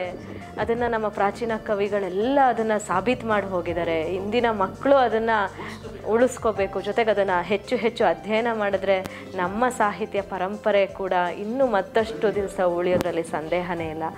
ಸರ್ ಬೌದ್ಧಿಕ ಮತ್ತು ಆಧ್ಯಾತ್ಮಿಕ ನೆಲೆ ಒಂದೇ ಅಂತ ಹೇಳಲಾಗುತ್ತೆ. ಇದಕ್ಕೆ ಒಂದು ಯಾವುದಾದ್ರೂ ವಚನವನ್ನು ವ್ಯಾಖ್ಯಾನ. ಖಂಡಿತ. ಶರಣರು ಹೊರ ಜಗತ್ತು ಮತ್ತು ಒಳ ಜಗತ್ತು ಬೇರೆಯಾಗಿ ನೋಡಲಿಲ್ಲ. ಎಲ್ಲವೂ ಕೂಡ ಒಂದೇ. ಬಸವಣ್ಣನವರ ಒಂದು ವಚನದಲ್ಲಿ ನೋಡಿ, ಸ್ವರ್ಗ ನರಕ ಬೇರಿಲ್ಲ ಕಾಣಿರು. ಸತ್ಯವ ನುಡಿಯುವುದೇ ಸ್ವರ್ಗ, ಮಿಥ್ಯವ ನುಡಿಯುವುದೇ ನರಕ. ಅವರು ಬೇರೆ ಬೇರೆ ಜಗತ್ತಾಗಿ ನೋಡಲಿಲ್ಲ. ಅವರು ಅಖಂಡವಾಗಿ ಒಂದರಲ್ಲೇ ನೋಡ್ತಾರೆ. ಎಲ್ಲವನ್ನೂ ಕೂಡ ಒಂದರಲ್ಲೇ ನೋಡ್ತಾರೆ. ಅವರು ಚರಣರು ಕಂಡದ್ದು ಪೂರ್ಣ ಜೀವನದ ತುಂಬ ಪೂರ್ಣ ಕಲ್ಪನೆ. ಟೋಟ್ಯಾಲಿಟಿ ಒಂದು ವಚನ ನನಗೆ ನೆನಪಾಗ್ತದೆ. ಭೌತಿಕ ಜಗತ್ತು ಆಧ್ಯಾತ್ಮಿಕ ಜಗತ್ತು ಬಸವಣ್ಣನವರ ಸುಂದರ ವಚನ. ಬೇರುಂಡ ಪಕ್ಷಿ ತಾವು ನೋಡಿರ್ಬೋದು. ಎರಡು ತಲೆ ಒಂದು ದೇಹ. ಇವತ್ತು ಕರ್ನಾಟಕ ರಸ್ತೆ ಸಾರಿಗೆ ಲಾಂಛನ. ಎರಡು ತಲೆ ಒಂದು ದೇಹ. ಬೇರುಂಡ ಪಕ್ಷಿಗೆ ತಲೆ ಎರಡು, ದೇಹ ಒಂದು.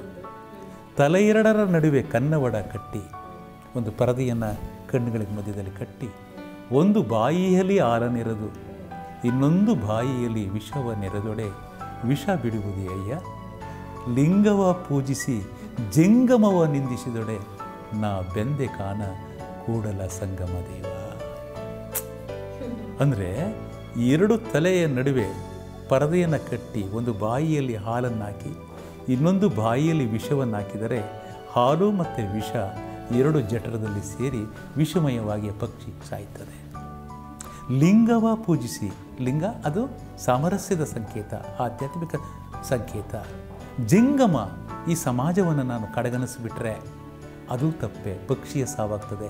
ಹಾಗಾಗಿ ಈ ಭೌತಿಕ ಮತ್ತು ಆಧ್ಯಾತ್ಮಿಕ ಜಗತ್ತಿಗಳ ಒಂದು ಸಂಯೋಗ ಇದೆಯಲ್ಲ? ಅದರ ನೆಲೆ ಇದೆಯಲ್ಲ? ಇದೇ ಬಸವ ಅದ್ವೈತ. ಈ ನೆಲೆಯಲ್ಲಿ ನಾವು ಬದುಕಬೇಕಾಗಿದೆ. ಯಾವುದೂ ಕೂಡ ಕಣಗಣಿಸಬಾರದು ಅನ್ನೋದೇ ಈ ವಚನದ ಒಂದು ಅಂತ ಸತ್ವ.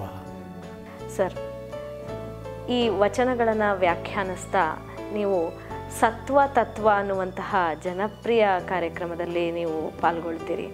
ಇತ್ತೀಚೆಗೆ ನಮ್ಮ ಮಂಡ್ಯದ ಗಾಂಧಿ ಭವನದಲ್ಲಿ ಕೂಡ ನೀವು ಆಯ, ಆಯೋಜನೆ ಮಾಡಿ ಅದನ್ನು, ಅದರಲ್ಲಿ ನೀವು ಪ್ರವಚನವನ್ನು ಮಾಡ್ತೀರಿ. ಈ ಸತ್ವ ತತ್ವ ಅನ್ನುವಂತಹ ಕಾರ್ಯಕ್ರಮದ ಅಂತರಾಳ ಏನು ಸರ್? ತತ್ವ ಸತ್ವ ಅಂದರೆ ಇವತ್ತಿನ ಪ್ರಸ್ತುತ ತಲೆಮಾರುಗಳಿಗೆ ಜಗತ್ತಿನ ಎಲ್ಲ ದಾರ್ಶನಿಕರ ಚಿಂತನೆಗಳನ್ನು ಮುಟ್ಟಿಸುವಂಥದ್ದೇ ಇದರ ಅಂತರಾಳ. ಅದು ಬೈಬಲ್ ಆಗ್ಬೋದು, ಕುರಾನ್ ಆಗ್ಬೋದು, ವಚನಗಳಾಗ್ಬೋದು, ಉಪನಿಷತ್ತುಗಳಾಗ್ಬೋದು. ಎಲ್ಲರ ಸಾರವನ್ನು ಮಂಕುತಿಮ್ಮನ ಕಗ್ಗ, ಡಿ ವಿ ಜಿಯವರದು ಇತ್ತೀಚಿನ ನಮ್ಮ ಜರಂಗಳಿ ಶಿವಶಂಕರ ಅವರ ಕವಿತೆ ಬೇಂದ್ರೆಯವರದು ಎಲ್ಲರ ಅಂತರಾಳವನ್ನು, ಇದರ ಸತ್ಯವನ್ನು ಜಗತ್ತಿಗೆ ತೋರಿಸ್ಕೊಡುವಂಥದ್ದೇ ತತ್ವ, ಅದರ ಸತ್ವ ಅಂತ ಹೇಳಿ. ಅಂದರೆ ನಾವು ಹೇಗೆ ನೋಡ್ತೀವಿ ಅನ್ನೋದು ನಮಗೆ ಗೊತ್ತಾಗ್ತಾ ಇಲ್ಲ. ಒಂದು ವಸ್ತುವನ್ನು ಹೇಗೆ ನಾವು ನೋಡ್ತೀವಿ? ಭಿನ್ನವಾಗಿ ನಾವು ನೋಡೋದಕ್ಕೂ, ಕವಿಗಳು ನೋಡೋದಕ್ಕೂ ಭಾಳಷ್ಟು ವ್ಯತ್ಯಾಸ ಇದೆ. ನನಗೆ ಶಿವರುದ್ರಪ್ಪ ಅವರದ್ದು ಒಂದು ಕವಿತೆ ನೆನಪಾಗ್ತದೆ. ಭಾರಿ ಚೆನ್ನಾಗಿದೆ. ಅವರೊಂದು ಕವಿತೆಯಲ್ಲಿ ಹೇಳ್ತಾರೆ ಆ, ತನುವನ್ನೊಂದು ಬಿಲ್ಲು ಮಾಡಿ ಶರೀರವನ್ನು ಒಂದು ಬಿಲ್ಲು ಮಾಡಿ ಪ್ರಾಣ ಬಾಣವನ್ನು ಹೂಡಿ ಕಾಲ ಪುರುಷನೆಳೆದ ಹಾಗೆ ದೇಹ ಬಾಗಿ ಹೋಗಿದೆ. ಒಂದು ಅಜ್ಜಿಯನ್ನು ಕಲ್ಪಿಸ್ಕೋತಾರೆ ಅವರು. ನಿಮ್ಮ ಮಂಡ್ಯದ ನಗರದಲ್ಲಿ ಒಬ್ಬ ಹಣ್ಣು ಮುದುಕಿ ಒಂದು ಕೋಲನ್ನು ಹಿಡ್ಕೊತಾ ಬರ್ತಾ ಇದ್ದರೆ ನಾನು ನೋಡುವಂಥ ದೃಷ್ಟಿ ಜಗತ್ತಿನ ದಾರ್ಶನಿಕರು ನೋಡುವಂಥ ದೃಷ್ಟಿ ಬೇರೆಯಾಗ್ತದೆ ಅವ್ರು ಹೇಗೆ ನೋಡ್ಬೋದು ಅಂದರೆ ನೋಡಿ ಎಷ್ಟು ಚೆನ್ನಾಗಿ ಹೇಳ್ತಾರೆ ತನುವನೊಂದು ಬಿಲ್ಲು ಮಾಡಿ. ಅವಳು ತನುವೇ ಬಿಲ್ಲಾಗಿದೆ ಪ್ರಾಣ ಬಾಣವನ್ನು ಹೂಡಿ, ಪ್ರಾಣವನ್ನು ಬಾಣ ಹಿಂಗೆ ಎಳೆದಿದ್ದೀವಿ, ಇನ್ನು ಹೋಗಬೇಕು ಅವಳದು. ಆ ಸ್ಥಿತಿ ಇದೆ. ಪ್ರಾಣ ಬಾಣವನ್ನು ಹೂಡಿ. ಕಾಲ ಪುರುಷನ ಎಳೆದ ಹಾಗೆ ದೇಹ ಬಾಗಿ ಹೋಗಿದೆ. ಇನ್ನೇನೋ ಕಾಲಪುರುಷ ಅವಳನ್ನು ಎಳ್ಕೋಬೇಕು. ಎಳ್ಕೋಬೇಕು. ಬೆಳ್ಳಿ ನವಿರಿನ ಹಣ್ಣು ಮುದುಕಿ ಎಲ್ಲ ಬೆಳೆಯಾಗಿದೆ ಭಗವಂತನ ನೆನೆದು ಬದುಕಿ ಇವತ್ತು ವಯಸ್ಸಾದವರೇ ಶಿವ ಶಿವ ಶಿವ ಅನ್ನೋರು ಅದು ವಯಸ್ಸಾದವ್ರಿಗೆ ಬೇಕಾಗಿಲ್ಲ. ಇವತ್ತು ನಮಗೆ ಯುವಕರಾದವ್ರಿಗೆ. ಹೌದು ಹೌದು. ಭಗವಂತನ ಸ್ಮರಣೆ ನಮ್ಮ ಎಳೆಯ ಬಾಲ್ಯದಲ್ಲೇ ಬೇಕಾಗ್ತದೆ. ಆ ಮೌಲ್ಯಗಳು ಭಗವಂತ ಅಂದರೆ ಒಂದು ಸಾಕ್ಷಿ ಪ್ರಜ್ಞೆ ಅಂತ. ಅಥವಾ ದೇವರು ನಮ್ಮ ಪೂಜೆ ಮಾಡೋ ಆ ಥರ ಅಲ್ಲ ಒಂದು ಸಾಕ್ಷಿ ಪ್ರಜ್ಞೆ ಒಂದು ಮೌಲ್ಯವನ್ನೇ ದೇವರು ಅಂತ ಹೇಳ್ತೀವಿ ನಾವು. ಸತ್ಯವೇ ದೇವರು. ಇದು ನಾವು ಕೊನೆಗಳಿಗೆ ಅಲ್ಲಲ್ಲ ಈ ಮುಟ್ಟಿದ ಮಗುವಿಂದಲೇ ಅದು ಅರಳಬೇಕು ವಿಕಸಿತ ಆಗಬೇಕು. ಕಾಲ ಪುರುಷ ನೆಳೆದ ಹಾಗೆ ದೇಹ ಬಾಗಿ ಹೋಗಿದೆ. ಬೆಳ್ಳಿ ನವಿರಿನ ಹಣ್ಣು ಮುದುಕಿ ಭಗವಂತನ ನೆನೆದು ಬದುಕಿ. ಕೈಯ ನೂರಿ ಕೋಲ ಮುಂದೆ ನಡೆಯುತ್ತಿರು ಕೈ ಕೋಲ ನಿಡಿದು ನಡೀತಾ ಇದ್ದಾಳೆ. ಇದ್ದಾಳೆ. ಯಾವ ಊರು ಎಲ್ಲಿ ಎವಳು ಎಲ್ಲಿಗಂತೂ ಸಾಗುತ್ತಿಹಳು ಕೊನೆಯ ಸಾಲು ನೋಡಿ. ಕಾಲ ನನಗೆ ಮಾತ್ರ ಜಗದ ಜೀವ ನಡೆಯುವಂತೆ ತೋರಿದೆ. ಜಗತ್ತೂ ಕೂಡ ಈ ಸ್ಥಿತಿಗೆ ಬರ್ತದೆ. ಬರ್ತಾ ಇದೆ. ಹೌದು. ಈ ಅರಿವನ್ನು ನಾವು ಪಡ್ಕೋಬೇಕಾಗಿದೆ. ಇದು ಬಹಳಷ್ಟು ಮುಖ್ಯವಾದಂಥದ್ದು. ತಾತ್ವಿಕ ಚಿಂತನೆ ಒಂದು ದೊಡ್ಡ ಒಂದು ಪಾರಮಾರ್ಥಿಕ ಸ್ವರೂಪ. ಸರ್ ರಾಜ್ಯದಲ್ಲಿ ಅನೇಕ ಪ್ರವಚನಗಳು ಹೀಗೆ ನೀಡ್ತಾ ಬಂದಿದ್ದೀರಿ ನೀವು. ನಿಮಗೆ ಮರೆಯಲಾಗದ ಒಂದು ಪ್ರವಚನದ ಅನುಭವವನ್ನು ಹೇಳೋದಾದರೆ? ನನಗೆ ರಾಜ್ಯದಾದ್ಯಂತ ಅನೇಕ ಪ್ರವಚನಗಳನ್ನು ಉತ್ತರ ಕರ್ನಾಟಕದಲ್ಲಿ ಕೊಟ್ಟಿದ್ದೇನೆ. ಹಾಗೆ ನಿಮ್ಮ ಮಂಡ್ಯ ಮೈಸೂರು ಕಡೆ ಹಾಡಿದ್ರೂ ಕೂಡ ನನಗೆ ಮರೆಯಲಾಗದ ಒಂದು ಪ್ರವಚನದ ದಿನ ಅಂದರೆ ನನ್ನ ಊರು. ಅಂದರೆ ದೇವನೂರು.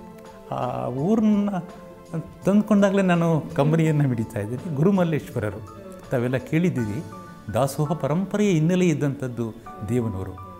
ನಮ್ಮ ಹುಬ್ಬಳ್ಳಿಯ ಸಿದ್ಧಾರೂಢರು ಕೂಡ ಗುರುಮಲ್ಲೇಶ್ವರರನ್ನು ಹುಡುಕಿಕೊಂಡು ನಮ್ಮ ಊರಿಗೆ ಬಂದಂಥದ್ದು ನನ್ನ ಊರು ಅದು. ಗುರುಮಲ್ಲೇಶ್ವರರ ತಪೋಭೂಮಿ ಅದು. ಕರ್ಮಭೂಮಿ ಅದು.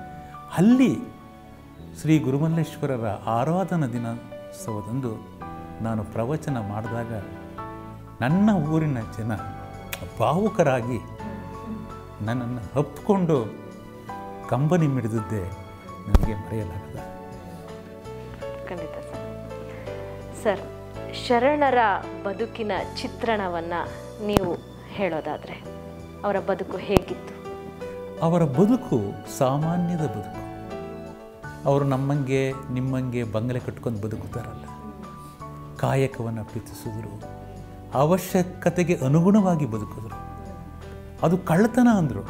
ನನ್ನ ಅವಶ್ಯಕತೆಗೆ ಮೀರಿದ ಆದಾಯವನ್ನು ನಾನು ಹೊಂದಿದರೆ, ನನ್ನ ಅವಶ್ಯಕತೆಗೆ ಮೀರಿದ ಆದಾಯವನ್ನು ನಾನು ಅನುಭವಿಸ್ತಾ ಇದ್ದರೆ ನಾವೆಲ್ಲ ಕಳ್ಳರು ಅಂತ ಬದುಕಿದಂಥ ಒಂದು ದೊಡ್ಡ ಮೌಲಿಕ ಚಿಂತನೆಯ ಇದು ಆಮೇಲೆ ಶ್ರಮ ಸಂಸ್ಕೃತಿಗೆ ಮಹತ್ವ ಕೊಟ್ಟಂಥವ್ರು ಕಾಯಕ ಮಾಡಲೇಬೇಕು. ಜೊತೆಗೆ ಅಂಚುಣ್ಣೋದು ದಾಸೋಹ ಪರಿಕಲ್ಪನೆ, ಇವೆಲ್ಲ ದೊಡ್ಡ ಈ ನೆಲದಲ್ಲಿ ನಡೆದಂಥ ಒಂದು ದೊಡ್ಡ ಪರಿವರ್ತನೆಶೀಲ ಜಗತ್ತಿಗೆ ಒಂದು ದೊಡ್ಡ ಬೆಳಕು ಅಂತ. ಹಾಗಾಗಿ ಬಸವಣ್ಣನವರ ಮಹಾಮನೆಗೆ ಬಂದಂಥ ಪ್ರತಿಯೊಬ್ಬರೂ ಕೂಡ ತಮ್ಮ ಹೃದಯದ ಕತ್ತಲೆಯನ್ನು ದೂರೀಕರಿಸಿ ಬೆಳಕನ್ನು ತುಂಬಿಕೊಂಡು ತಾವೇ ಬೆಳಕಾಗಿ ಹೋದ್ರಲ್ಲ, ಇದು ದೊಡ್ಡ ವಚನಗಳನ್ನು ಓದ್ಕೊಂಡು, ಅನುಭವಿಸ್ಕೊಂಡು, ಅನುಭವ ಪಡ್ಕೊಂಡು ಸಾಕಷ್ಟು ಕೆಲಸ ಮಾಡ್ತೀರಿ.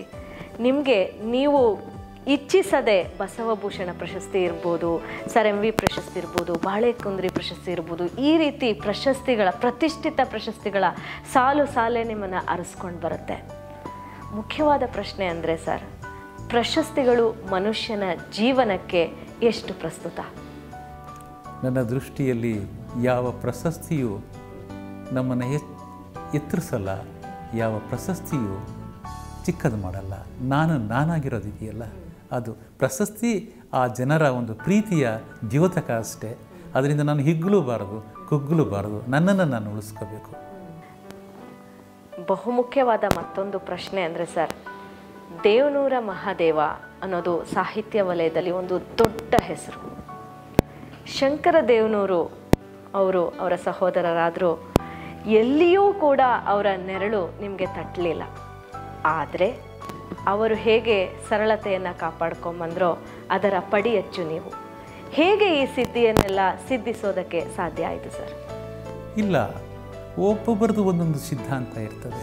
ಸಾಹಿತ್ಯದಲ್ಲಿ ನಮ್ಮ ಅಣ್ಣನವರು ಕೃಷಿ ಮಾಡಿರಬಹುದು, ಉತ್ತರ ಕರ್ನಾಟಕದಲ್ಲಿ ವಚನಗಳು ಮಾಡಿದ್ರೂ ಕೂಡ ಅದರ ಅಂತರಾಳಗಳು ಒಂದೇ ಇರ್ತದೆ.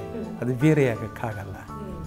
ಅಂತರಾಳ ಸರ್, ಇಷ್ಟೊಂದು ಪರಿಶ್ರಮದ ಹಿಂದೆ ನಿಮ್ಮ ಕುಟುಂಬದ ನೆರವು ಖಂಡಿತ ಇರಲೇಬೇಕು. ಯಾಕಂದರೆ ಒಬ್ಬ ಪುರುಷನ ಯಶಸ್ಸಿನ ಹಿಂದೆ ಸ್ತ್ರೀ ಕೂಡ ಮುಖ್ಯ ಆಗ್ತಾಳೆ. ನಿಮ್ಮ ಕುಟುಂಬದ ಪರಿಚಯವನ್ನು ನಮ್ಮ ವೀಕ್ಷಕರಿಗೆ ಮಾಡಿಕೊಡಿ. ನಿಜ ಹೇಳೋದು, ಪ್ರತಿಯೊಂದಕ್ಕೂ ಕೂಡ ಒಂದು ಬೆಳಕಾಗಬೇಕಾದ್ರೆ ಅಲ್ಲಿಗೆ ತೈಲ ಬೇಕು. ಬೇರಿದೆಯಲ್ಲ, ಆ ಬೇರು ಕಾಣಲ್ಲ. ಫಲವಷ್ಟೇ ನಾವು ನೋಡ್ತೀವಿ. ಆ ಬೇರೆ ನನ್ನ ಧರ್ಮಪತ್ನಿ ಶ್ರೀಮತಿ ಅನಸೂಯ ಶಂಕರ್ ನನ್ನ ಇವತ್ತಿನ ಪ್ರವಚನಗಳಿಗೆ, ಇವತ್ತಿನ ಕಾರ್ಯಕ್ರಮಗಳಿಗೆ ಒಂದು ಪೂರಕವಾದಂಥ ಶಕ್ತಿ. ಹಾಗೆಯೇ ನನ್ನ ಮಕ್ಕಳು ಶ್ರೇಯಸ್ ದೇವನವರಂತ, ಅವನು ಎಂ ಎ ಜರ್ನಲಿಸಮ್ ಪತ್ರಿಕೋದ್ಯಮ ಮುಗಿಸಿ, ಈಗ ಅವನು ಒಳ್ಳೆಯ ಛಾಯಾಗ್ರಾಹಕನು ಕೂಡ. ಹಾಗೆಯೇ ನನ್ನ ಮಗಳು ರಚನಾ ದೇವನವರಂತ, ಅವಳು ಎಂ ಐ ಟಿ ಮೈಸೂರಿನ ಇಂಜಿನಿಯರಿಂಗ್ ಕಾಲೇಜಲ್ಲಿ ಐದನೇ ವರ್ಷದ ಸಿವಿಲ್ ಇಂಜಿನಿಯರಿಂಗ್ ವ್ಯಾಸಂಗ ಮಾಡ್ತಾ ಇದ್ದಾಳೆ. ಇವರೆಲ್ಲರ ಸಹಕಾರ ಆಮೇಲೆ ಇವರೆಲ್ಲರ ಒಂದು ನಿಲುವುಗಳಿದೆಯಲ್ಲ, ನಮ್ಮನ್ನು ಈ ಮಟ್ಟಕ್ಕೆ ತಂದುಕೊಂಡಿದೆ ಅಂತ ನಾನು ಭಾವಿಸ್ತೇನೆ. ಅವರು ಒಂಥರ ಮುಗ್ಧ ಮನಸ್ಸಿನವರು ಮಗುವಿನಂಥವ್ರು ಹಾಗಾಗಿ ಅವ್ರು ಏನೇ ಮಾಡಿದ್ರು ಅದು ಒಳ್ಳೆಯದು ಅನ್ನೋದು ನನ್ನ ಭಾವನೆ. ಹಾಗಾಗಿ ಅವ್ರು ಏನೇ ಮಾಡಿದ್ರು ನನ್ನ ಪ್ರೋತ್ಸಾಹ ಇರುತ್ತೆ. ಹೇಗೆ ಅಂದರೆ, ಕೆಲವೊಂದು ನಮ್ಮ ಹತ್ರ ಇರೋದಿಲ್ಲ. ಕೆಲವ್ರಿಗೆ ಅದನ್ನು ವ್ಯಕ್ತಪಡ್ಸೋಕ್ಕೆ ಹೋಗಲ್ಲ. ಇದು ನಮ್ಮ ಮನೆಯವ್ರ ಹತ್ರ ಇರೋದ್ರಿಂದ ಅದು ನನಗೆ ತುಂಬ ಇಷ್ಟ ಆಗುತ್ತೆ. ಅವರಿಂದನಾರು ಜನಕ್ಕೆ ಗೊತ್ತಾಗಲಿ, ಒಂದು ಒಳ್ಳೆ ಮಾತಾಗಲಿ ಒಳ್ಳೆ ಬದುಕಾಗಲಿ ಅನ್ನೋದನ್ನು ಜನಕ್ಕೆ ಯಾರು ಗೊತ್ತು ಮಾಡೋ ರೀತಿ ಅವ್ರ ಹತ್ರ ಇರೋದ್ರಿಂದ ಅದು ನನಗೆ ತುಂಬ ಇಷ್ಟ ಆಗ್ತದೆ. ಅಂದರೆ ಇಬ್ಬರಲ್ಲೂ ಒಂದೇ ಭಾವನೆ ಇರೋದ್ರಿಂದ ಅದು ಆ ರೀತಿ ಆಗುತ್ತೆ ಅಂತ ನನ್ನ ಅನಿಸಿಕೆ. ಅಂದರೆ ಅವರು ಓದೋದಾಗಲಿ ಅವ್ರದ್ದು ಕೆಲಸ ಕಾರ್ಯಗಳಲ್ಲಾಗಲಿ, ಎಲ್ಲ ಥರದ ಸಹಾಯನೂ ನಾನು ಹಿಂದೆ ಮಾಡ್ತಾ ಇರ್ತೀನಿ ಅವ್ರಿಗೆ. ಅವ್ರನ್ನ ನೋಡೋಕೆ ಬರೋ ಅಂಥ ಜನಗಳೇ ಆಗಲಿ ಯಾರೇ ಇದ್ರೂ ಯಾವುದೇ ಇದು ಮಾಡ್ಕೊಳ್ಳದೆ ಬೇಜಾರಿಲ್ಲದೇ ಅವ್ರಿಗೆ ಸಹಕರಿಸ್ತೀನಿ ನಾನು. ಮತ್ತು ನಿಮ್ಮ ಬಾಲ್ಯವನ್ನು ಸ್ವಲ್ಪ ನೆನಪಿಸ್ಕೊಳ್ಳೋದಾದರೆ ನಿಮ್ಮ ಹುಟ್ಟೂರು ನಿಮ್ಮ ತಂದೆ ತಾಯಿ ಅವರನ್ನು ನೆನಪಿಸ್ಕೊಳ್ಳೋದಾದರೆ ನಿಮ್ಮ ಸಾಮಾಜಿಕ ಪರಿಸರ ಹೇಗಿತ್ತು ವಿದ್ಯಾಭ್ಯಾಸ ಯಾವ ರೀತಿ ಆಯಿತು ಅಂತ ಕೇಳೋ ಹೇಳೋದಾದ್ರೆ. ಖಂಡಿತ ನಾನು ಮೂಲತಃ ನಮ್ಮ ತಂದೆ ಊರು ದೇವನವರು. ನನ್ನ ತಾಯಿ ಊರು ಅಂತೇಳಿ ನನ್ನ ಪ್ರಾಥಮಿಕ ಶಿಕ್ಷಣವನ್ನು ಒಂದರಿಂದ ಐದನೇ ಕ್ಲಾಸು ಕನ್ನಡ ಮಾಧ್ಯಮದಲ್ಲೇ ಅತ್ಯಂತ ಕುಗ್ರಾಮ ಅದು. ಅಲ್ಲೇ ನಾನು ಕೂಡ ಬೆಳೆದವನು. ಅಲ್ಲಿಂದ ನಾನು ದೇವನೂರಿಗೆ, ನನ್ನ ತಾಯಿ ಊರಿಂದನೇ ಹೋಗಿ ಬರ್ತಾ ಇದ್ದೆ. ಮಧ್ಯಾಹ್ನದ ಪ್ರಸಾದವನ್ನು ನಾನು ಶ್ರೀ ಗುರುಮಲ್ಲೇಶ್ವರರ ಮಠದಲ್ಲಿ ನಾನು ಮಾಡ್ತಾ ಇದ್ದೆ. ಹಾಗೆ ನಾನು ಕ್ಲಾಸಿನಲ್ಲೂ ಕೂಡ ಬುದ್ಧಿವಂತ ವಿದ್ಯಾರ್ಥಿ. ಅದೇ ತನವನ್ನು ನಾನು ಎಂಜಿನಿಯರಿಂಗ್ ತನಕನೂ ಕೂಡ ನಾನು ಕಾಪಾಡ್ಕೊಂಡು ಬಂದಂಥವನು. ಹಾಗೆ ಆ ಊರಿನ ನನ್ನ ಜನ ಎಲ್ಲ ಕೂಡ ತುಂಬ ಪ್ರೀತಿಯನ್ನು ಕೊಟ್ಟಂಥ ಒಂದು ಪರಿಸರ. ನಾವು ತುಂಬ ಬಡವರು, ನನ್ನ ತಾಯಿ ಕೂಡ ಕೂಲಿಯನ್ನು ಮಾಡಿ ನನ್ನನ್ನು, ನಮ್ಮ ಮೂರು ಜನನ ಓದಿಸ್ತಂಥದ್ದು ನಮಗೆ ಇವತ್ತಿಗೂ ಕೂಡ ಮರೆಯಲಾರದ ದಿನ. ನನ್ನ ತಾಯಿ ಇಲ್ಲ. ಕೊನೆಗಂಟು ಕೂಡ ನನ್ನ ತಾಯಿ ನನ್ನ ಜೊತೆನೇ ಇದ್ದು ನನ್ನ ಎಲ್ಲ ನನ್ನ ಮಕ್ಕಳಿಗೆ ಆಶ್ರಯವನ್ನು ಕೊಟ್ಟು ಒಂದು ರೀತಿಯ ಮೌಲ್ಯವನ್ನು ಕಟ್ಕೊಂಡಂಥವ್ರು. ಅದು ಬಹಳಷ್ಟು ಮುಖ್ಯವಾದಂಥದ್ದು. ಬದುಕಲ್ಲಿ ನಾವು ವಿದ್ಯಾವಂತರಿಗಿಂತನೂ ಅವಿದ್ಯಾವಂತರು ಕೊಡುವಂಥ ಅದು ಮೌಲ್ಯ ಇದೆಯಲ್ಲ, ಅದು ದೊಡ್ಡದ ಶಕ್ತಿ. ಹಾಗಾಗಿ ಆ ಬಾಲ್ಯಗಳು ನನಗೆ ನೆನಪಾಗ್ತದೆ. ನಾನು ಎಲ್ಲ ಕಡೆ ನನ್ನ ಪ್ರವಚನಗಳಲ್ಲಿ ಹೇಳ್ತೇನೆ. ನೀವು ಕೇಳಿದ ಪ್ರಶ್ನೆಗೆ ಉತ್ತರ, ನದಿ ಎಷ್ಟೇ ದೂರ ಹರಿದು ಹರಿದು ಹರಿದು ಸಾಗರವನ್ನೇ ಸೇರಿದ್ರು ಅದು ತನ್ನ ಮೂಲ ಸ್ಥಳದ ಸಂಪರ್ಕವನ್ನು ಕಳೆದುಕೊಳ್ಳಲ್ಲ, ನಮ್ಮ ಬದುಕು ಕೂಡ ನದಿಯಂತಾಗಬೇಕಾಗಿದೆ ಖಂಡಿತ ಸರ್, ಒಳ್ಳೆ ಮಾತನ್ನು ಆಡಿದ್ರಿ ಪ್ರಸ್ತುತ ಸಂದರ್ಶನದಲ್ಲಿ. ಸರ್, ಬಹಳ ಈ ಒಂದು ಸೀಮಿತ ಅವಧಿಯಲ್ಲಿ ಬಹಳ ವಿಚಾರಗಳನ್ನು ನಮ್ಮ ವೀಕ್ಷಕರಿಗೆ ತಿಳಿಸ್ಕೊಟ್ರಿ. ಅನೇಕ ವಚನಗಳನ್ನು ಪ್ರಸ್ತುತ ದಿನಮಾನದಲ್ಲಿ ಹೇಗೆ ಅದು ಅಪ್ಲೈ ಆಗುತ್ತೆ ಅನ್ನೋದನ್ನು ಹಲವಾರು ವಚನಗಳನ್ನು ವ್ಯಾಖ್ಯಾನಿಸ್ತಾ ನೀವು ಸಂದರ್ಭೋಚಿತವಾಗಿ ಅದನ್ನು ವ್ಯಾಖ್ಯಾನಿಸಿದ್ರಿ. ಒಟ್ಟಾರೆ ಈ ಕಾರ್ಯಕ್ರಮದ ಬಗ್ಗೆ ನಿಮ್ಮ ಅನಿಸಿಕೆ? ನಿಜಕ್ಕೂ ಸ್ವರ್ಣ ಟಿ ವಿ ಇಂಥ ಮೌಲಿಕ ಕಾರ್ಯಕ್ರಮಗಳನ್ನು ಪ್ರಸಾರ ಮಾಡುವುದರ ಮುಖಾಂತರ ಸಮಾಜದಲ್ಲಿ ಒಂದು ಭಾವೈಕ್ಯತೆಯ ಬೆಳಕನ್ನು ಮೂಡಿಸುವ ದಿಕ್ಕಲ್ಲಿ ಕೆಲಸ ಮಾಡಲಿ. ಇದು ಮಾಡ್ತಾ ಇದೆ ಅಂತಲೂ ಕೂಡ ಕೇಳಿದ್ದೇನೆ. ಯಾಕೆಂದರೆ ಉಳ್ಕೊಳ್ಳೋದೇ ಬೆಳಕು, ಯಾಕಂದರೆ ಕತ್ತಲೆಗೆ ಅಸ್ತಿತ್ವ ಇಲ್ಲ, ಬೆಳಕಿಗೆ ಅಸ್ತಿತ್ವ ಇದೆ. ನೀವು ಎಲ್ಲರನ್ನೂ ಗುರುತಿಸ್ತಾ ಇದ್ದೀರಿ. ನೀವು ಒಂದು ರೀತಿ ಗುರು ಸ್ವರೂಪಿಗಳು. ಯಾಕೆ ಹೇಳ್ತಾ ಇದ್ದೀನಿ ಅಂದರೆ ಗುರುತಿಸಲಾರದವನನ್ನು ಗುರು ಸಮಾಜಕ್ಕೆ ಗುರುತಿಸ್ಕೊಡ್ತಾನಲ್ಲ, ಅವನೇ ಗುರು. ಸರ್, ಇಷ್ಟು ಹೊತ್ತು ಬಹಳ ಅರ್ಥಗರ್ಭಿತವಾಗಿ ನನ್ನ ನಾನು ಮಾಡಿರುವಂತಹ ಸಂದರ್ಶನದಲ್ಲೂ ಮೌಲ್ಯಯುತ ಸಂದರ್ಶನ ಇದು ಒಂದು ಅಂತ ಹೇಳಿದ್ರೆ ತಪ್ಪಾಗಲಿಕ್ಕಿಲ್ಲ. ಬಹಳ ಅರ್ಥಗರ್ಭಿತವಾಗಿ ಈ ಸಂದರ್ಶನ ಸಾಗ್ತಾ ಹೋಯಿತು. ಕಾರ್ಯಕ್ರಮಕ್ಕೆ ಬೆಂಗಳೂರಿಂದ ಬಂದ್ರಿ. ಬಹಳ ಸಂತೋಷ ಆಯಿತು. ವಾಹಿನಿಯ ಪರವಾಗಿ ಹಾಗೆ ಮಂಡ್ಯ ಜಿಲ್ಲಾ ಜನತೆಯ ಪರವಾಗಿ ನಿಮಗೆ ಹೃತ್ಪೂರ್ವಕ ಧನ್ಯವಾದಗಳನ್ನು ಸಲ್ಲಿಸ್ತೀವಿ ನಮಸ್ತೆ ನಮಸ್ತೆ. ವೀಕ್ಷಕರೇ, ಇದಾಗಿತ್ತು ಇಂದಿನ ಸಾಧಕರು ವಿಶೇಷ ಸಂಚಿಕೆ. ಮುಂದಿನ ಸಂಚಿಕೆಯಲ್ಲಿ ಮತ್ತೊಬ್ಬ ಸಾಧಕರನ್ನ ಪರಿಚಯ ಮಾಡಿಕೊಡುವ ಪ್ರಯತ್ನ ಮಾಡ್ತೇವೆ. ಸ್ವರ್ಣ ಟಿವಿ, ಇದು ಬಾಂಧವ್ಯಗಳ ಬೆಸುಗೆ. ವಂದನೆಗಳು.